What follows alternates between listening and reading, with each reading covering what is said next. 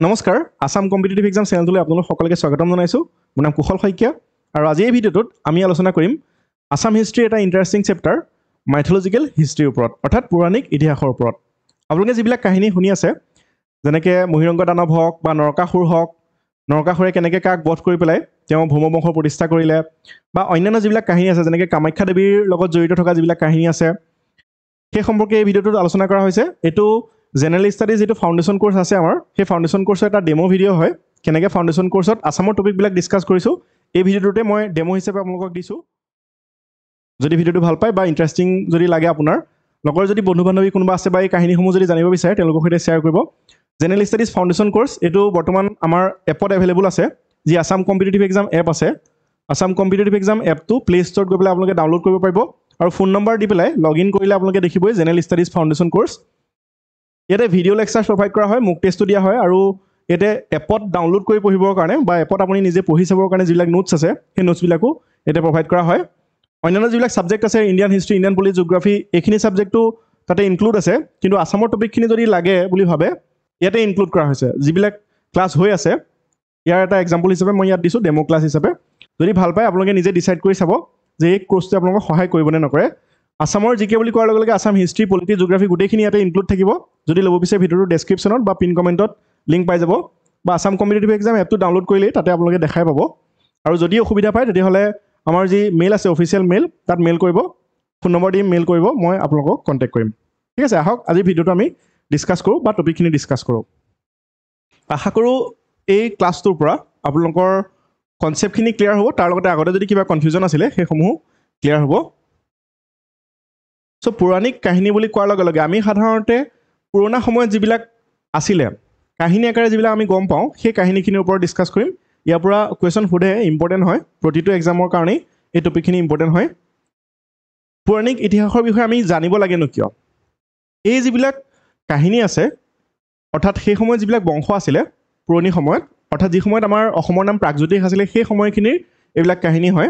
এই কাহিনীসমূহ আমি সাধাৰণতে পুৰাণ বা অন্যান্য যিবিলাক ধৰ্মীয় গ্ৰন্থ আছে সেইসমূহত লাভ কৰিছোঁ। এই কাহিনীসমূহ সেই গ্ৰন্থসমূহত লাভ কৰিছোঁ। আৰু এইসমূহৰ পৰাও আমাৰ অসমৰ ইতিহাসটোৰ কথা আমি গম পাওঁ। অৰ্থাৎ অসমৰ ইতিহাসটোৰ লগত এই কাহিনীসমূহ জড়িত আছে। সেইকাৰণে আমি এই কাহিনীসমূহ জনাটো দৰকাৰ যাতে পুৰণি সময়ত অসমখনৰ অৱস্থা কেনেকুৱা আছিলে বা কেনেকৈ ডেভেলপ হৈ হৈ আমি আজিৰ অৱস্থা পাইছোঁহি সেইসমূহ জানিবৰ কাৰণে এই কাহিনীসমূহ আমি জানিব লাগে। ঠিক আছে? পৌৰাণিক যুগত প্ৰাগজ্যোতিষপুৰত তিনিটা বংশই শাসন কৰিছিলে। এতিয়া ইয়াতে আমি অসম বা কামৰূপ বুলি কোৱা নাই। ইয়াত কৈছোঁ যে প্ৰাগজ্যোতিষপুৰ বা প্ৰাগজ্যোতিষ। পুৰণি সময়ত বা প্ৰাচীন সময়ত প্ৰাগজ্যোতিষপুৰত তিনিটা বংশই শাসন কৰিছিলে। সেই তিনিটা হৈছে দানৱ বংশ ভৌম বংশ আৰু অসুৰ বংশ। অৰ্থাৎ Danava dynasty Bhauma dynasty and Asura dynasty ঠিক আছে এইকেইটা বংশই শাসন কৰিছিলে পুৰণি প্ৰাগজ্যোতিষত। আমি এই বংশকেইটাৰ ওপৰত অকণমান ডিটেইলছত আলোচনা কৰিম যাতে যিখিনি কনচেপ্ট আছে সেইখিনিও ক্লিয়াৰ হয় আৰু যিবিলাক পৰীক্ষাত প্ৰশ্ন আহি থাকে সেইসমূহ আমি কৰিব পাৰোঁ। প্ৰথমতে চাওঁ দানৱ বংশৰ ওপৰত। আমাৰ অসমৰ যি হিষ্ট্ৰী আছে বা অসমৰ যি ইতিহাস আছে সেই ইতিহাসৰ সম্পৰ্কে বহুখিনি তথ্য আমি কালিকা পুৰাণৰ পৰা লাভ কৰোঁ। গতিকে কালিকা পুৰাণৰ মতে প্ৰাগজ্যোতিষৰ প্ৰথমটো শাসক বংশ আছিলে এই দানৱ বংশ। যদি প্ৰশ্নত সোধে যে প্ৰাগজ্যোতিষৰ প্ৰথমটো শাসক বংশ কি হয় তেতিয়াহ'লে কি হ'ব? দানৱ বংশ বা দানৱা ডাইনেষ্টি ঠিক আছে কনচেপ্টখিনি বুজি চাব? এইখিনি ইম্পৰ্টেণ্ট হয় আহে। আৰু এই দানৱ বংশৰ প্ৰতিষ্ঠাপক আছিলে মহিৰংগ দানৱ। মহিৰংগ প্ৰাচীন অসমৰ আদিম পৰিচিত ৰজা। যদি প্ৰশ্নত সোধে যে আমাৰ অসমৰ একেবাৰে আৰ্লিয়েষ্ট যিজন কিং বা যিজন আদিম ৰজা কোন? তেতিয়াহ'লে হ'ব মহিৰংগ দানৱ। আৰু মহিৰংগ দানৱে যিটো বংশ প্ৰতিষ্ঠা কৰিছিলে সেইটো হৈছে দানৱ বংশ বা দানৱা ডাইনেষ্টি সেইকাৰণে মহিৰংগৰ পিছফালে টাইটেল হিচাপে মহিৰংগ দানৱ আমি ব্যৱহাৰ কৰোঁ। ঠিক আছে আৰু এই বংশটো কিৰাত মূলৰ আছিল বুলি কোৱা হয়।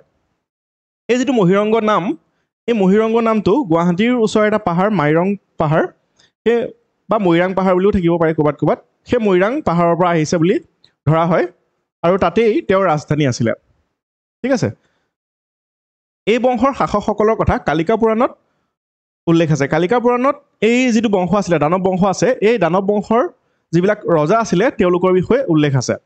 আৰু দানৱ বংশৰ একেবাৰে শেষৰজন ৰজা হৈছে ঘটকাসুৰ। প্ৰশ্নত প্ৰায়ে সুধি থাকে ঘটকাসুৰ আছিলে দানৱ বংশৰ শেষৰজন ৰজা? মহিৰংগ দানৱ? এই দানৱ বংশৰ প্ৰতিষ্ঠাপক বা প্ৰথমগৰাকী ৰজা আছিলে। তেওঁৰ পিছত হতকাসুৰ ৰজা হয় তাৰপিছত সম্ভাসুৰ ৰজা হয় আৰু তাৰপিছত ৰজা হয় ৰত্নাসুৰ। আৰু এই বংশটোৰ দানৱ বংশৰ বা দানৱা ডাইনেষ্টিৰ শেষৰগৰাকী ৰজা আছিলে কোন? ঘটকাসুৰ। ঠিক আছে? দানৱ বংশৰ অন্তিম ৰজা ঘটকাসুৰক নৰকাসুৰে হত্যা কৰি পেলাই ভৌম বংশৰ প্ৰতিষ্ঠা কৰিছিলে। কেতিয়াবা কেতিয়াবা নৰকাসুৰ বুলি নকৈ পেলাই নৰক বুলিও দিব পাৰে। গতিকে এই যি দানৱ বংশৰ শেষৰগৰাকী ৰজা ঘটকাসুৰ তেওঁক কোনে বধ কৰিছিলে? নৰকাসুৰে। আৰু নৰকাসুৰে বধ কৰি পেলাই আমাৰ প্ৰাগজ্যোতিষপুৰত কোন বংশ প্ৰতিষ্ঠা কৰিলে? ভৌম বংশৰ প্ৰতিষ্ঠা কৰিলে। গতিকে এই যি দানৱ বংশ আছে এওঁলোকৰ যদি শাসকসকলৰ ওপৰত যাওঁ চাওঁ তেতিয়াহ'লে এইকেইজন হৈছে শাসক। মহিৰংগ যিটো মৈৰং শব্দৰ পৰা তেওঁৰ নামটোৰ উৎপত্তি হৈছে বুলি ধৰা হয়। আৰু এইকেইজনে আছিলে এই বংশটোৰ শাসক। ঠিক আছে ঘটকাসুৰ আছিলে শেষৰজন শাসক। কেতিয়াবা মিলাবলৈ দিব পাৰে। এইখিনিৰ ওপৰতো মিলাবলৈ কেতিয়াবা দিব পাৰে এৰেঞ্জ কৰিবলৈ দিব পাৰে চিৰিয়েলি মনত ৰাখিব প্ৰথমজন হৈছে মহিৰংগ দানৱ আৰু শেষৰজন হৈছে ঘটকাসুৰ তেওঁক নৰকাসুৰে বধ কৰিছিলে। নেক্সট আমি ভৌম বংশৰ ওপৰত চাওঁ। ভৌম বংশটো হৈছে প্ৰাগজ্যোতিষৰ দ্বিতীয় কিংবদন্তী বংশ। প্ৰথমতে আছিলে দানৱ বংশ তাৰপিছত আহিলে কি? ভৌম বংশ। দানৱ বংশৰ শেষৰগৰাকী ৰজা ঘটকাসুৰক বধ কৰি পেলাই নৰকাসুৰে এই বংশৰ প্ৰতিষ্ঠা কৰিছিলে। নিশ্চয় বুজি পাইছে কথাখিনি। ভগদত্ত আৰু ব্ৰজদত্তৰ কথা প্ৰথমে মহাভাৰত আৰু ৰামায়ণৰ মহাকাব্যত উল্লেখ আছে। ইয়াৰে যি শাসক আছে এই বংশটোৰ ভৌম বংশৰ যি শাসকসকল আছে তেওঁলোকৰ ওপৰত যদি চাওঁ তেতিয়াহ'লে নৰক বা নৰকাসুৰ বুলিও জনা যায়। ভগদত্ত পুষ্পদত্ত ব্ৰজদত্ত এইসকল আছিলে এই ভৌম বংশৰ শাসক। ঠিক আছে আৰু ইয়াৰে এই ভগদত্তৰ নাম নিশ্চয় আপোনালোকে শুনি আছে মহাভাৰতৰ যুদ্ধতো অংশগ্ৰহণ কৰিছিলে ভগদত্তই তাৰ লগতে আৰু এজন ৰজাৰ নাম মহাভাৰতৰ যুদ্ধত উল্লেখ আছে ব্ৰজদত্ত।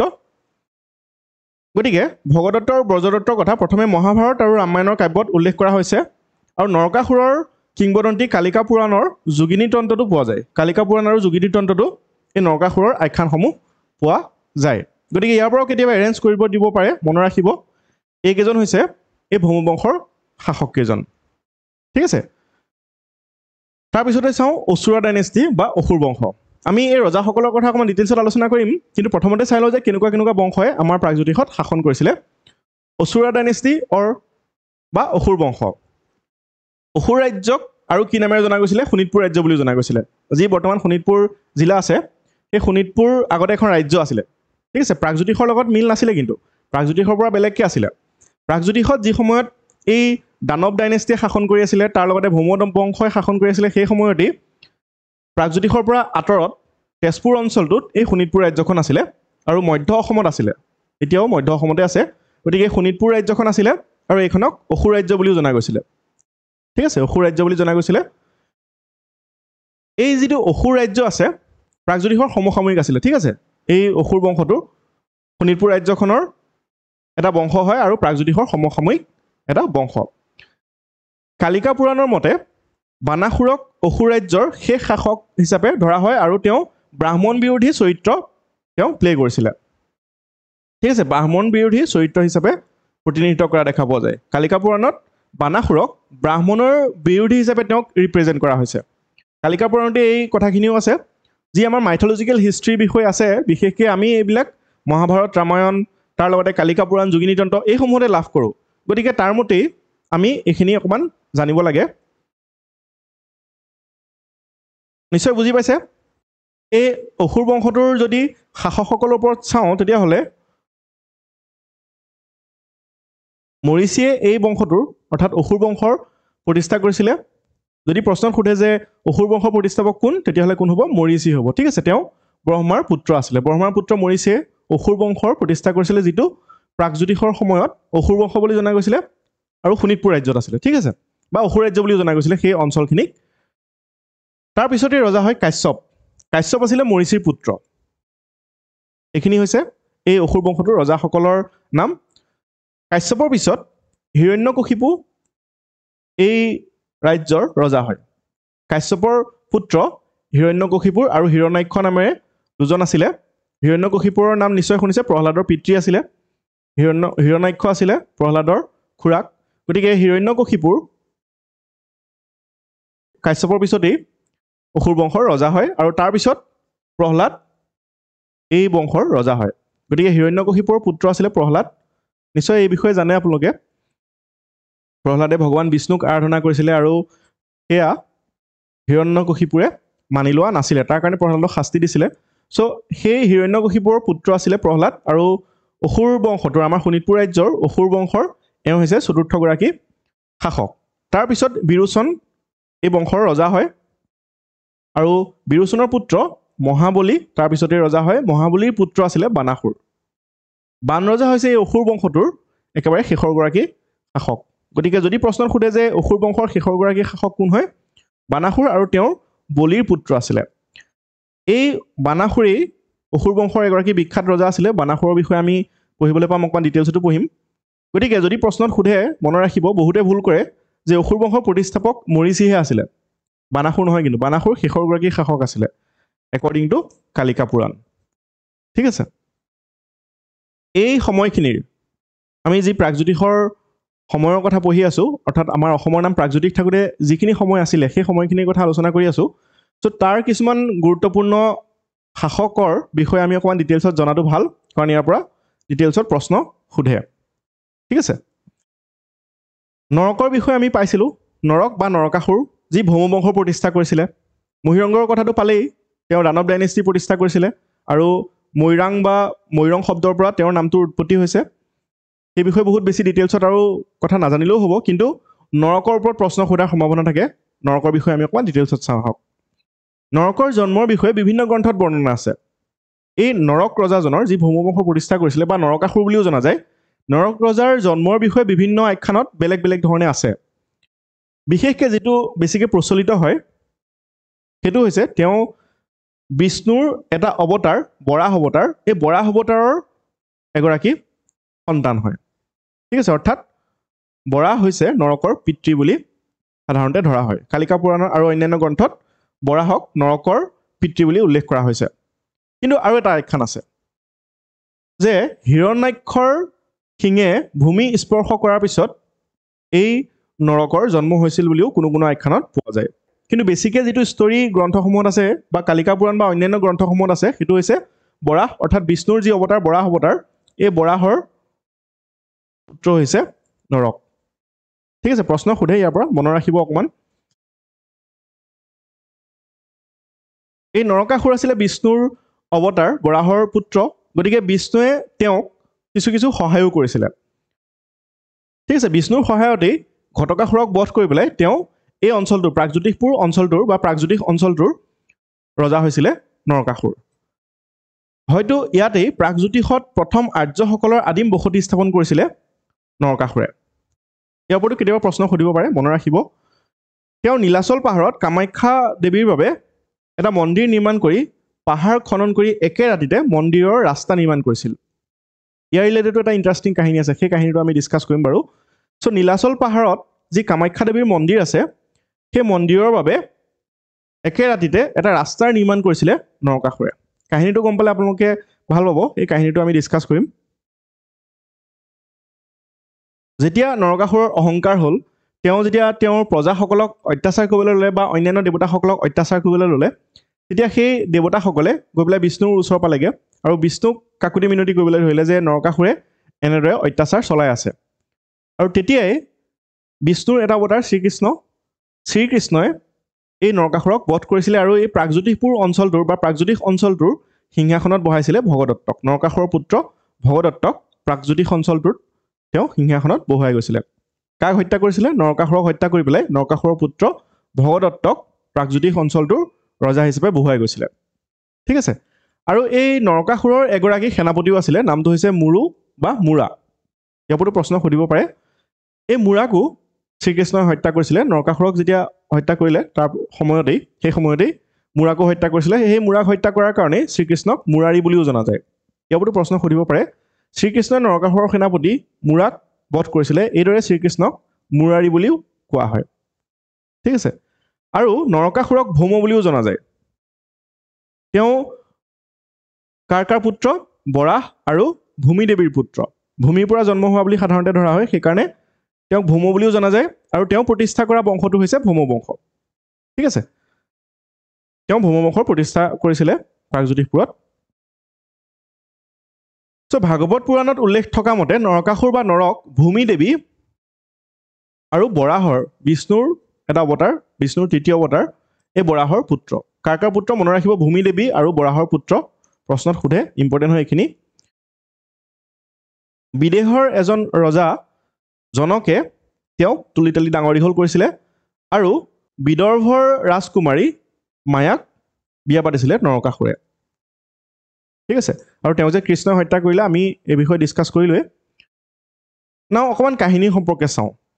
যে নৰকৰ মাতৃ কোন বুলি ক'লোঁ? ভূমি দেৱী বুলি ক'লোঁ। ভূমি দেৱীয়ে বিষ্ণুক বৰ খুজিছিলে যে তেওঁৰ পুত্ৰ ভূমি দেৱীৰ পুত্ৰ নৰকে বা নৰকাসুৰে যাতে দীৰ্ঘ জীৱন লাভ কৰে। অৰ্থাৎ বেছি দিন যাতে জীয়াই থাকে এই বুলি ভূমি দেৱীয়ে বিষ্ণুক বৰ খুজিছিলে। ঠিক আছে? আৰু বিষ্ণুৱে সেই বৰ দিছিলেও নৰকাসুৰক। আৰু তাৰ লগতে বিষ্ণুৱে নৰকাসুৰক কামাখ্যা দেৱীক পূজা কৰিবলৈ শিকাই গৈছিলে।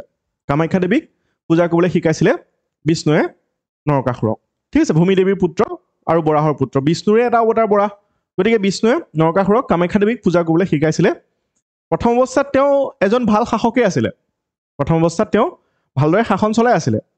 কিন্তু যেতিয়া এই শোণিতপুৰ ৰাজ্যখন যে আছিলে একে সমসাময়িকভাৱে শোণিতপুৰ ৰাজ্যত সেই সময়ত ৰজা আছিলে বান ৰজা।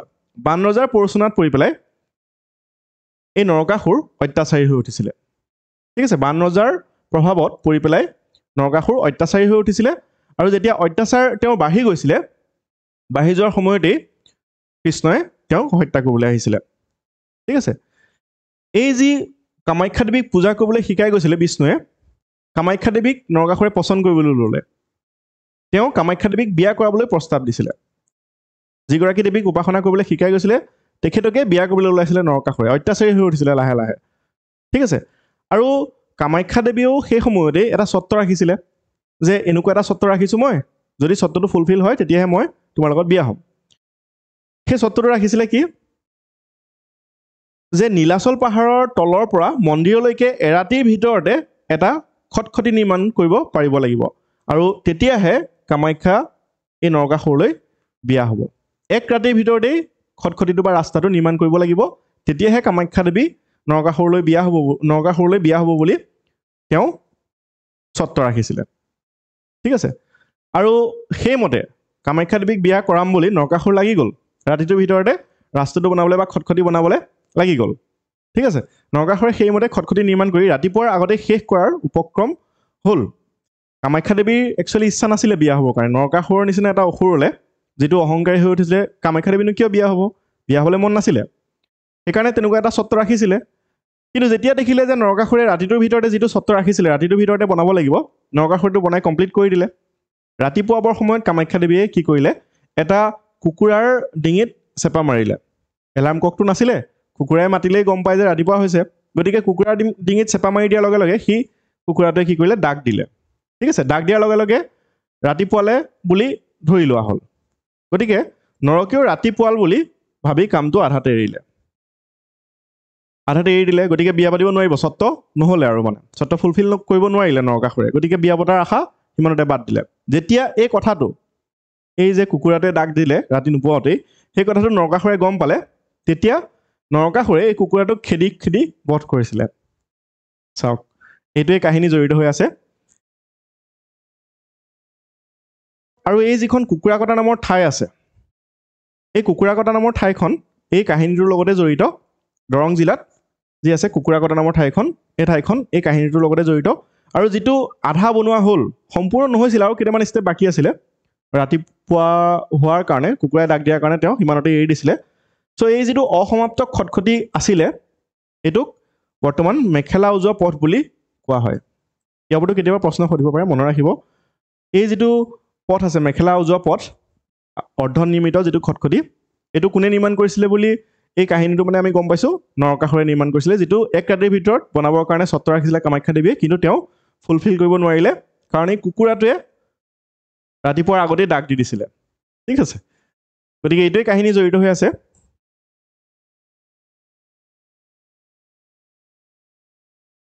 এই কামাখ্যা মন্দিৰটো গুৱাহাটীৰ কামগিৰি নামেৰেও জনাজাত নীলাচল পাহাৰত অৱস্থিত। কেতিয়াবা প্ৰশ্ন সুধিব পাৰে। এই নীলাচল পাহাৰক কামগিৰি বুলিও জনা যায়।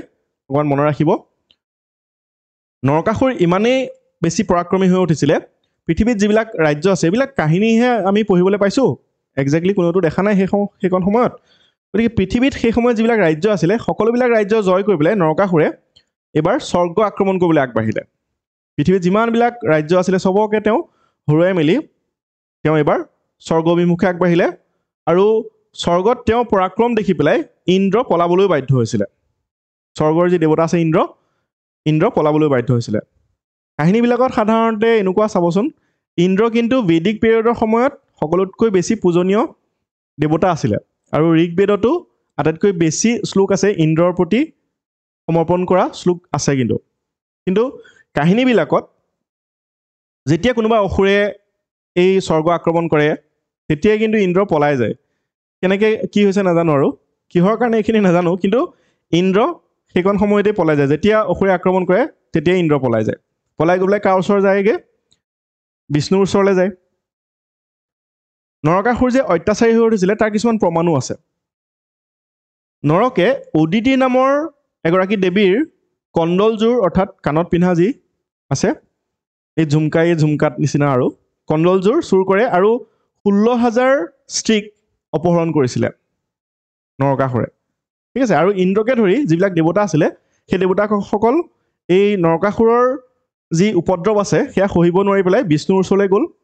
আৰু বিষ্ণুৱে তেতিয়াই ক'লে যে মোৰ অৱতাৰ কৃষ্ণ আছে পৃথিৱীত গতিকে কৃষ্ণৰ হাততে এই নৰকাসুৰৰ মৃত্যু হ'ব বুলি দেৱতাসকলক কৃষ্ণই বিষ্ণুৱে আশ্বাস দিলে। আৰু কৃষ্ণ আহি পেলাই এই নৰকাসুৰক বধ কৰিছিলেহি। তেওঁৰ যিটো সুদৰ্শন চক্ৰ আছে কৃষ্ণৰ হাতত যিটো সুদৰ্শন চক্ৰ আছে সুদৰ্শন চক্ৰই নৰকাসুৰক ইয়াতে মই এখন পিকচাৰ লগাইছিলোঁ কিন্তু পিকচাৰখন ইমান ভালকৈ নাহিলে। ত' নৰকাসুৰক এনেকৈ দুফাল কৰি দিছিলে। আৰু যি ষোল্ল হাজাৰ স্ত্ৰীক তেওঁ অপহৰণ কৰি আনিছিলে সেয়াও উদ্ধাৰ কৰিছিলে। তাৰ লগতে অদিতি দেৱীৰ সোণৰ যি কুণ্ডল আছিলে সেয়াও তেওঁ ঘূৰাই দিছিলে। ঠিক আছে আৰু নৰকাসুৰক বধ কৰি পেলাই প্ৰাগজ্যোতিষৰ সিংহাসনত বহাইছিলে কাক? ভগদত্তক। ঠিক আছে ইণ্টাৰেষ্টিং কাহিনী সেইখিনি জানিও ভাল লাগে। ইয়াতে পিকচাৰখনত দিয়া আছে সুদৰ্শন চক্ৰে কৃষ্ণই নৰকাসুৰক বধ কৰাৰ দৃশ্য। এয়া হৈছে নৰকাসুৰ। এইখিনিতে আৰু এটা কাহিনী আছে। নৰকাসুৰক যেতিয়া বধ কৰিবলৈ আহিছিলে কৃষ্ণই নৰকাসুৰক বধ কৰিবলৈ আহোঁতে তেওঁ ৰথত আহি পেলাই এখন ঠাইত তেওঁ ৰথ ৰখাইছিলে। ৰথ মানে ঘোঁৰা ঘোঁৰাই চলোৱা যি ৰথ সেই ৰথ লৈ আহিছিলে। আৰু আহি পেলাই আমাৰ প্ৰাগজ্যোতিষৰ বৰ্তমান গুৱাহাটীৰ ওচৰৰ এখন ঠাই অশ্বক্লান্তা ইয়াতেই তেওঁ সেই ঘোঁৰাখিনিক জিৰণি দিছিলে। ঠিক আছে? এই জিৰণি দিয়া ঠাইখনকেই অশ্বক্লান্তা নামেৰে জনা যায় আৰু তাত যিটো মন্দিৰ গঠন হ'ল সেই মন্দিৰটোক অশ্বক্লান্ত মন্দিৰ বুলি জনা যায়।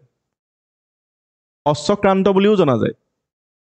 কেতিয়াবা থাকিব পাৰে অশ্বক্লান্তৰ ঠাইত অশ্বক্ৰান্ত বুলিও দিব পাৰে মনত ৰাখিব।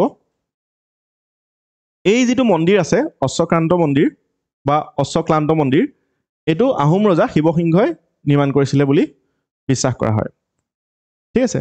পৌৰাণিক কাহিনী অনুসৰি ভগৱান শ্ৰীকৃষ্ণই যেতিয়া নৰকাসুৰক বিচাৰি ফুৰিছিলে তেতিয়া তেওঁৰ ঘোঁৰাবোৰ ভাগৰুৱা হৈ পৰিছিল আৰু এই ঠাইতেই তেওঁলোকক জিৰণি দিয়া হৈছিলে। ঘোঁৰাবিলাকক যি ঘোঁৰা লৈ আহিছিলে সেয়াক জিৰণি দিয়া হৈছিলে এই ঠাইখিনিতেই।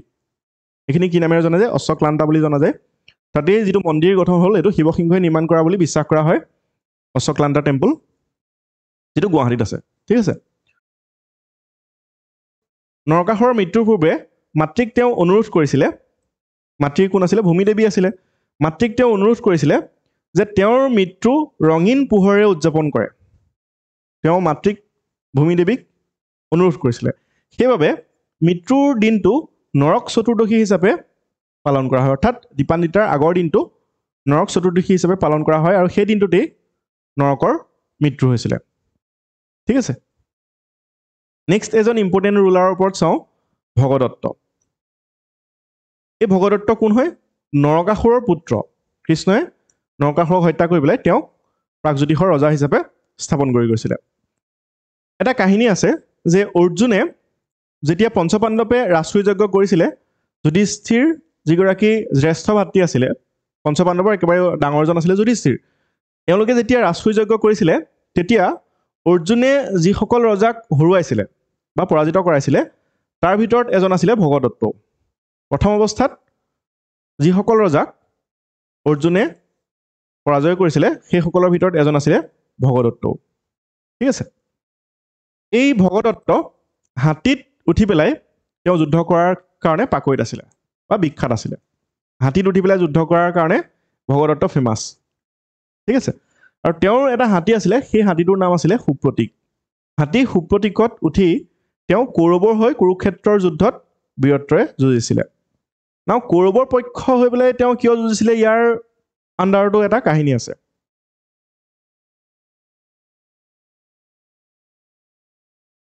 ভগদত্তৰ জীয়ৰী ভানুমতীক বিয়া দিছিলে কৌৰৱৰাজ দুৰ্যোধনলৈ। পঞ্চপাণ্ডৱৰ পাঁচজন আছিলে ভাতৃ কৌৰৱৰ আছিলে এশজন। এই কৌৰৱৰ যিগৰাকী ডাঙৰ ৰাজকুমাৰ আটাইতকৈ জ্যেষ্ঠ দুৰ্যোধন। দুৰ্যোধনলৈ বিয়া দিছিলে ভানুমতীক। কিন্তু মহাভাৰতৰ কাহিনীত ভানুমতীৰ বিষয়ে বহুত বেছি উল্লেখ নাই। প্ৰায় তিনি ঠাইমানত আছে বুলি মই কোনোবা কোনোবা ঠাইত পঢ়িবলৈ পাইছোঁ। চ' ভগদত্তৰ জীয়েক ভানুমতীক কৌৰৱৰাজ দুৰ্যোধনলৈ বিয়া দিছিলে আৰু অন্য এগৰাকী কন্যা ধনুমতীক ধৃষ্টদুম্নলৈ বিয়া দিছিলে। ঠিক আছে? আৰু সেইকাৰণেই কুৰুক্ষেত্ৰৰ যুদ্ধত জোঁৱায়েকৰ পক্ষ লৈ পেলাই যুদ্ধত অৱতীৰ্ণ হৈছিলে ভগদত্ত। ঠিক আছে? আগৰ সময়ত বিয়াবিলাকত স্বয়ম্বৰ হৈছিলে। স্বয়ম্বৰ মানে ৰজা ৰাজকুমাৰবিলাকক মাতিব ৰজা ৰাজকুমাৰসকলক মাতি পেলাই কন্যাক উলিয়াই আনিব আৰু কন্যাই যাকেই পচন্দ কৰে তাৰ লগতে বিয়া হৈছিলে। আমাৰ এতিয়া টিভিত দেখাই থকা স্বয়ম্বৰ নিচিনা নহয় কিছুমান টাস্ক দিছিলে বাৰু ৰজাবিলাকক বা ৰাজকুমাৰসকলক। চ' ভানুমতীৰ স্বয়ম্বৰ পাতোতে এই ভগদত্তই দীঘলী পুখুৰীটো খনাইছিল বুলি বিশ্বাস কৰা হয়। ভানুমতীৰ যেতিয়া স্বয়ম্বৰ পাতিছিলে ৰাজকুমাৰসকলক মাতি বা ৰজাসকলো আহিছিলে। সেই স্বয়ম্বৰ সময়তেই গুৱাহাটীৰ যিটো দীঘলী পুখুৰী আছে একেবাৰে ফেমাছ আৰু দীঘলী পুখুৰীটো খনাইছিলে বুলি বিশ্বাস কৰা হয়। ঠিক আছে আৰু এই যিটো ভগদত্তৰ কাহিনী মহাভাৰতৰ দূৰ্ণ পৰ্বত উল্লেখ আছে আৰু এই উল্লেখ অনুসৰি কুৰুক্ষেত্ৰৰ যুদ্ধৰ বাৰ দিনৰ দিনা কুৰুক্ষেত্ৰৰ যুদ্ধ হৈছিলে ওঠৰ দিন ওঠৰ দিন ধৰি পেলাই কুৰুক্ষেত্ৰৰ যুদ্ধ চলিছিলে আৰু তাৰে বাৰ নম্বৰ দিনা ভগদত্তৰ মৃত্যু হৈছিলে। অৰ্জুনে ভগদত্তক বধ কৰিছিলে। ন ভগদত্তক কোনে বধ কৰিছিলে? ইয়াৰ ওপৰতো প্ৰশ্ন সুধিব পাৰে মনত ৰাখিব। অৰ্জুনে ভগদত্তক বধ কৰিছিলে। ঠিক আছে? মহাভাৰতত তেওঁক ম্লেচ্ছাসকলৰ পৰাক্ৰমী ৰজা বুলি উল্লেখ আছে অৰ্থাৎ the mighty king of the Mlecchas মহাভাৰতত এই বুলি উল্লেখ আছে। কাৰ নাম উল্লেখ আছে? ভগদত্তৰ নাম মনত ৰাখিব। ভগদত্তক ম্লেছাসকলৰ পৰাক্ৰমী ৰজা বা mighty king of the Mlecchas বুলি উল্লেখ আছে। তাৰ লগতে ভগদত্তক শৈলালয় পৰ্বতপতি আৰু পূৰ্বসাগৰবাসী বুলিও উল্লেখ কৰা হৈছিলে। এইখিনি ইম্পৰ্টেণ্ট হয় ইয়াৰ পৰা প্ৰশ্ন সোধাৰ সম্ভাৱনা থাকে। শৈলালয় ইয়াৰ অৰ্থ হৈছে পৰ্বতৰ মাজত বাস কৰা। পৰ্বতপতি মানে হৈছে পৰ্বতৰ প্ৰভু আৰু পূৰ্বসাগৰবাসী মানে হৈছে পূব পূব সাগৰৰ বাসিন্দা। গতিকে এই বুলি জনা গৈছিলে কাক? ভগদত্তক। ঠিক আছে মহাভাৰতত তেওঁক এই ধৰণৰ নামে জনা গৈছিলে নেক্সট এজন ইম্পৰ্টেণ্ট ৰুলাৰৰ ওপৰত চাওঁ। সেইজন হৈছে বানাসুৰ বা বান ৰজা বান ৰজাৰ কেপিটেল চিটি আছিলে শোণিতপুৰ তেওঁৰ ৰাজধানী চহৰ আছিলে শোণিতপুৰ। বান ৰজাক আৰু কি বুলি জনা যায় বানাসুৰ বুলিও জনা যায়। আৰু এহেজাৰ বাহু আছিলে বুলি এহেজাৰটা বাহু আছিলে বুলি বিশ্বাস কৰা হয়। ঠিক আছে এজন সহস্ৰ বাহু থকা অসুৰ ৰজা আৰু মহাবলীৰ পুত্ৰ বা বলিৰ পুত্ৰ। এই বিষয়ে আমি ডিছকাছ কৰি আহিলোঁ তেওঁ যে বলিৰ পুত্ৰ হয়। আৰু এই যি অসুৰ ৰাজ্য আছে অসুৰ ৰাজ্যৰ প্ৰতিষ্ঠাপক কোন আছিলে? মৰিচি আছিলে। আকৌ অকণমান ৰিপিট কৰিছোঁ যাতে মনত ৰাখে থাকে আপোনালোকৰ। বানাসুৰে ভগৱান শিৱক তেওঁ পূজা কৰিছিলে আৰু শিৱক সন্তুষ্ট কৰিবলৈ বিভিন্ন ধ্যানো তেওঁ কৰিছিলে। ধ্যান কৰি পেলাই শিৱক সন্তুষ্টও কৰিছিলে কিন্তু। আৰু তেওঁক শিৱই বৰ দিছিলে। ঠিক আছে? এহেজাৰ শক্তিশালী বাহুৰ বৰদান দিছিলে তাৰ লগতে তেওঁক বৰো দিছিলে আৰু আশ্বাসো দিছিলে যে যেতিয়াই বানাসুৰ কোনোবা সমস্যাৰ সন্মুখীন হয় তেতিয়া আহি পেলাই শিৱ উপস্থিত হ'ব। যেতিয়াই বিপদত পৰে বানাসুৰ তেতিয়াই তেওঁক ৰক্ষা কৰিবৰ কাৰণে শিৱ নিজে আহি উপস্থিত হোৱাৰ তেওঁ ইচ্ছা আছিলে আৰু সেই ইচ্ছা শিৱই পূৰণ কৰিলে। কিন্তু যেতিয়া শিৱৰ বৰ পাই গ'ল বৰ পোৱাৰ পিছতেই তেওঁ অতি অত্যাচাৰী হৈ উঠিলে। বানাসুৰ লগে লগে অত্যাচাৰী হৈ উঠিলে। এনেকুৱা বহুতৰ ক্ষেত্ৰতে হয়। শিৱৰ যিবিলাক অসুৰ আছে কাহিনীবিলাক যদি জানে অকণমান চাবচোন শিৱই যেতিয়া বৰ দিয়ে তাৰপিছতেই তেওঁলোক অত্যাচাৰী হৈ উঠে। তেওঁলোকৰ মৰণ সেইকাৰণে আছে। যেতিয়া অত্যাচাৰী হৈ উঠিব তেতিয়াই তেওঁলোকৰ পতন আৰম্ভ বুলি ধৰি লওক আৰু। বৰটো পাব বৰ পাই পেলাই বহুত ভালকৈও থাকিব পাৰি কিন্তু নাই। অসুৰবিলাক বৰ পোৱাৰ লগে লগে অত্যাচাৰী হৈ উঠে। যেতিয়া অত্যাচাৰী হৈ উঠিলে অহংকাৰী হৈ উঠিলে তেতিয়া তেওঁ প্ৰজাসকলকো ডমিনেট কৰিবলৈ ল'লে।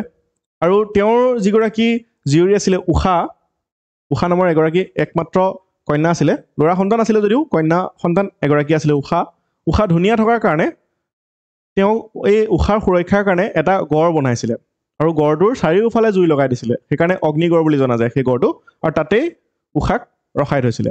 ঠিক আছে যাতে অন্য কোনো মানুহে লৈ যাব নোৱাৰে উষাক। সেইকাৰণে সেই গড়টো সাজি পেলাই চাৰিওফালে জুই লগাই পেলাই তাতেই উষাক ৰাখি থৈছিলে। শিৱক পূজা কৰিছিলে তেওঁ। সেইকাৰণে তেজপুৰৰ যিটো মহাভৈৰৱ মন্দিৰ আছে মহাভৈৰৱ শিৱ মন্দিৰটো তেওঁ বনোৱা বুলিয়ে ধাৰণা কৰা হয়।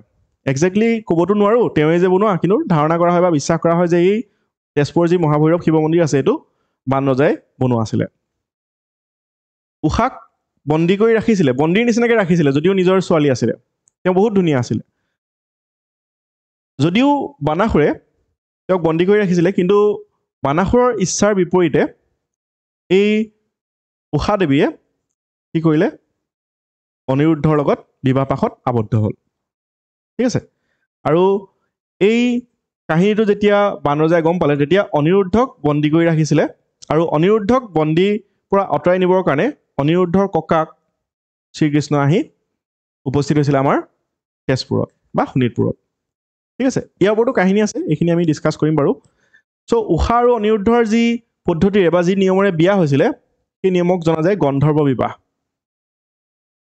এই ক্ষেত্ৰত উষাক হেল্প কৰিছিলে তেওঁৰ বান্ধৱী চিত্ৰলেখাই।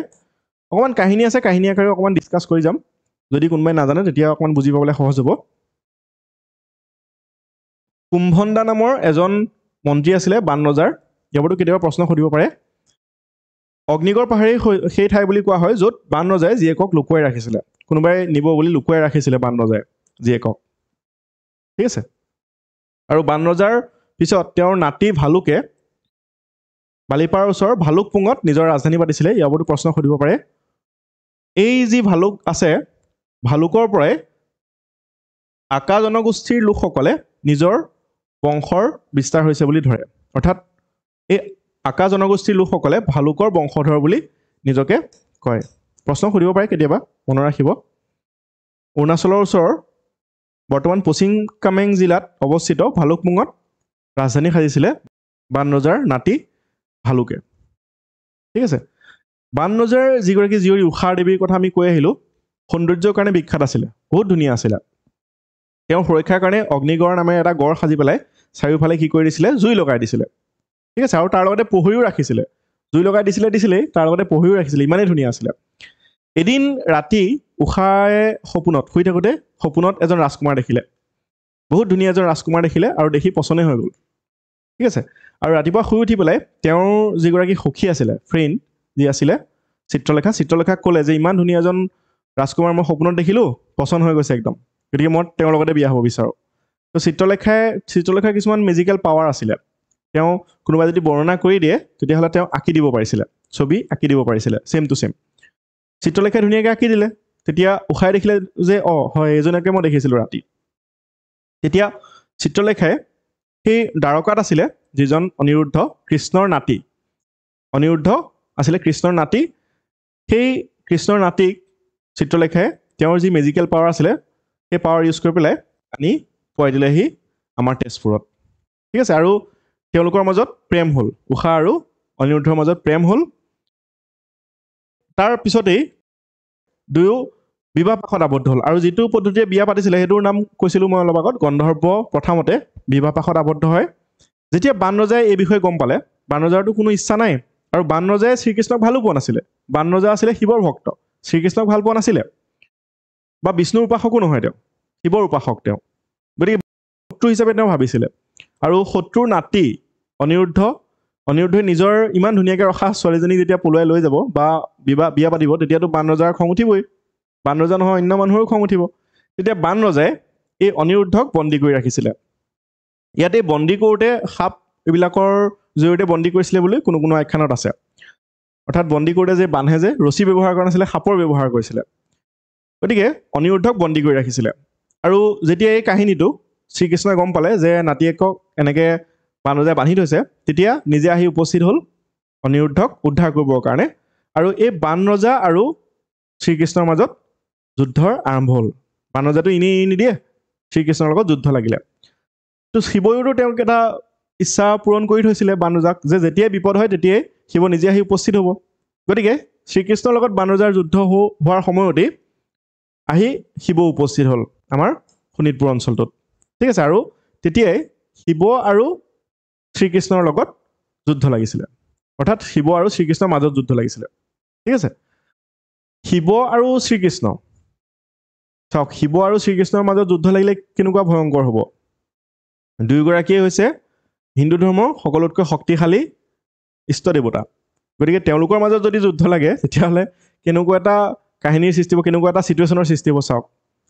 যিবিলাক দেৱতা আছিলে ব্ৰহ্মাকে ধৰি অন্যান্য যিবিলাক দেৱতা আছিলে সকলো আশংকিত হৈ পৰিছিলে যে কি হ'ব এতিয়া?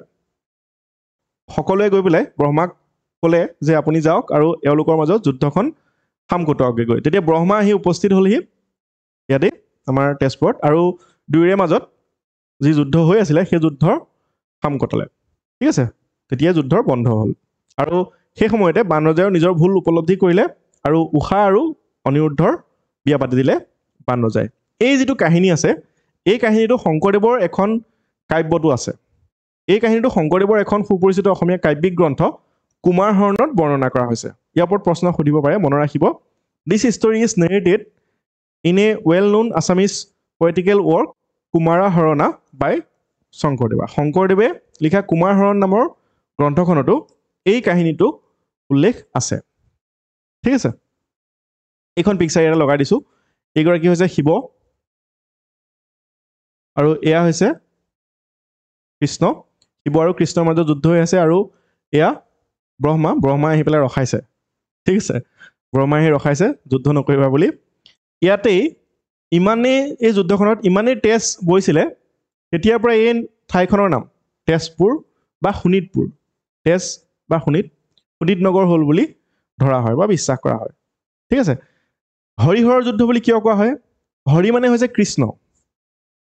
হৰি মানে হৈছে কৃষ্ণ আৰু হৰ মানে হৈছে শিৱ।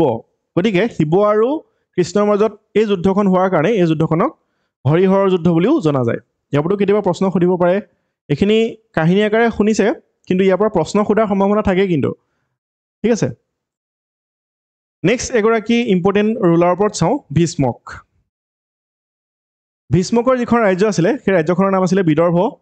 ইয়াৰ ওপৰতো প্ৰশ্ন সোধে বৰ্তমান শদিয়াৰ যিটো অঞ্চল আছে বৰ্তমানৰ শদিয়াতে আগৰ কুণ্ডিল নগৰ আছিল বুলি বিশ্বাস কৰা হয়। আৰু এই কুণ্ডিল নগৰখন হৈছে কুণ্ডিল নদীৰ পাৰত অৱস্থিত। কুণ্ডিল নগৰখন কুণ্ডিল নদীৰ পাৰত অৱস্থিত।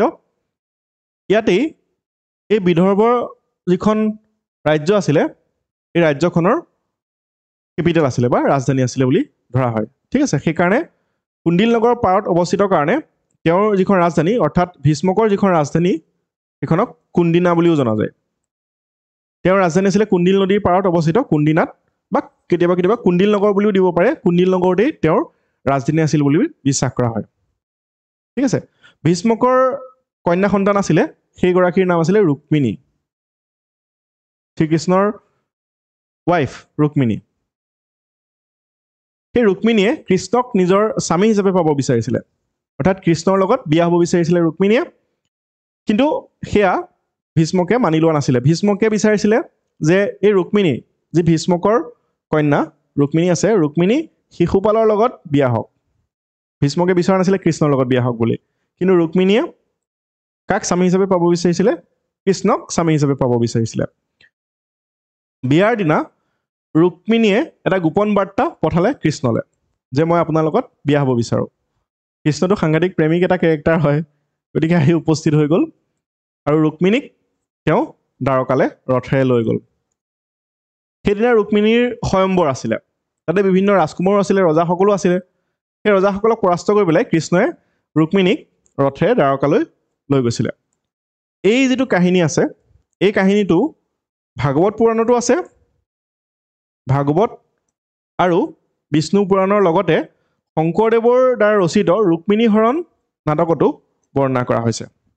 ইয়াৰ ওপৰতো কেতিয়াবা প্ৰশ্ন সুধিব পাৰে। শংকৰদেৱৰ নাটক ৰুক্মিণী হৰণতো এই বিষয়ে বৰ্ণনা কৰা হৈছে।